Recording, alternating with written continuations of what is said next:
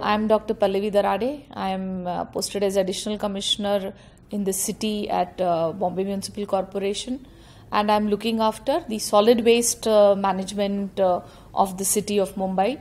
With regard to Gorai, uh, I would like to say that it is one of the success stories of uh, uh, Bruhan Mumbai Mahanagar Palika or the BMC because uh, this is one uh, dumping ground which was in use since 1972 uh, by the corporation and huge amount of uh, waste was dumped in Gorai.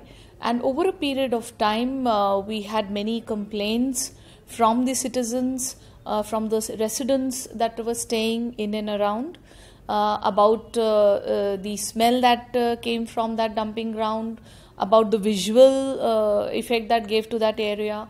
And also at times when uh, there was spontaneous fires about the smoke uh, that came from that area. So this being a, a constant uh, uh, source of irritation for the residents a constant uh, concern for the corporation we decided in 2007 to scientifically close this gorai dumping ground and uh, uh, in the present uh, rules of uh, municipal solid waste, uh, we decided to close it by capping uh, the the dumping ground. And here we went through. We we hired a consultant, and we decided to technically close it with following all the scientific procedures in it.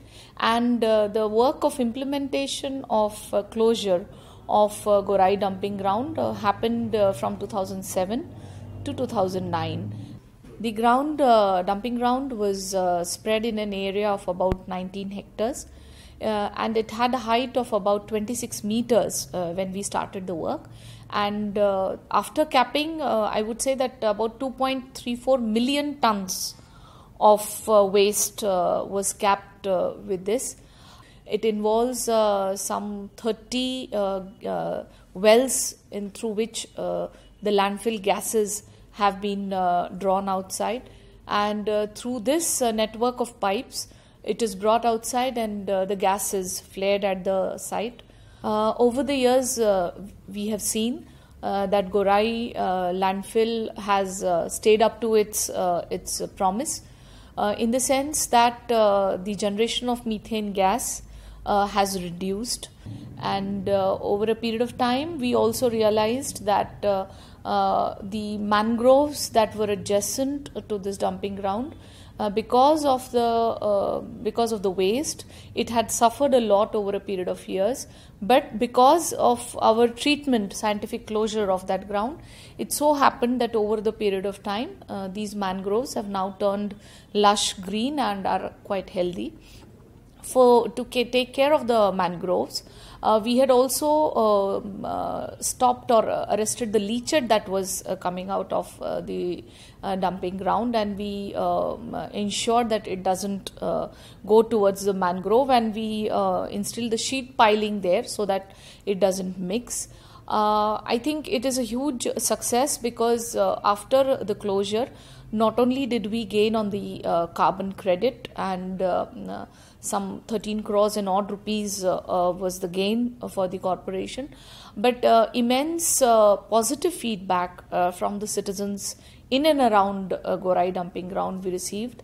It improved aesthetically, it improved environmentally, scientifically we could close the, that huge ground. And uh, one advantage was that uh, the properties in and around uh, had a huge price rise after uh, we uh, closed uh, the ground.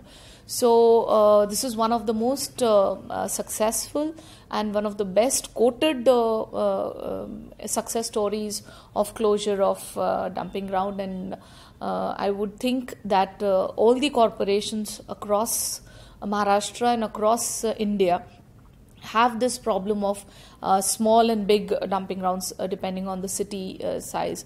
So if, if they take uh, the lesson from Gorai that uh, uh, the closure of dumping grounds is definitely a success story and this definitely improves not only the environment but the concern for the corporation is also taken care of and the citizens in and around are also happy with the closure of the dumping ground.